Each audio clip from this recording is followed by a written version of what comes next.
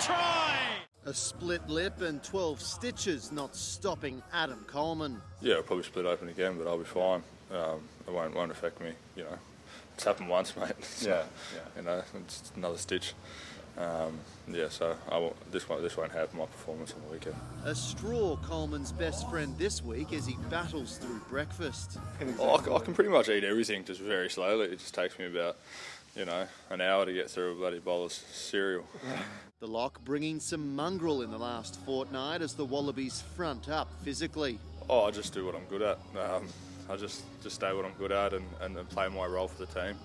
Um, as long as I do that, then um, yeah, I worry about my job.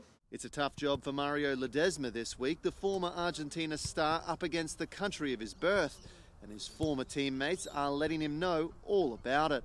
obviously I get a, a lot of bagging over there and some calls and everybody treating me like I'm a traitor or something. but uh, but it's all good. The, the the team and the coach, the coaching staff over there, I'm really good friends with, and they've been always being really supportive of of what I'm doing over here. So there's no issues there. Saturday to be the third time Ledesma will face his home nation after two victories in 2015. It's always special. Obviously, I played a long time for them, and I'm a very proud Argentinian.